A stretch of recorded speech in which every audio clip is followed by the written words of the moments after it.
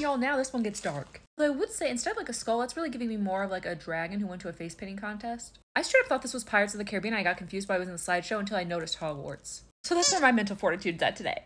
Now look, obviously we hate Dumbledore, but I do think that this is a very nice illustration of him. He's befuddled, he's befounded, and that's, you know, why he yells, Did you put your name in the goblet of fire? I need a four-part series and three trilogy movies about this ferret, okay? You're gonna tell me that's not the cutest thing you've ever seen. Also, I love that he apparently, like, just broke everything in the garden. Now, I will say that dragon looks like it belongs in How to Train Your Dragon. Like, I don't know if I necessarily would be running away from it. I think I would try to pet it, and thus I would not get it far in the Triwizard Tournament. Literally me on Easter when I'm so freaking proud of myself. And yeah, Hermione's in a blue dress, okay? That's how it was in the books. When I tell you that this would absolutely terrify me, like, I'm sorry, I can't even look at the things in the background without wanting to throw up.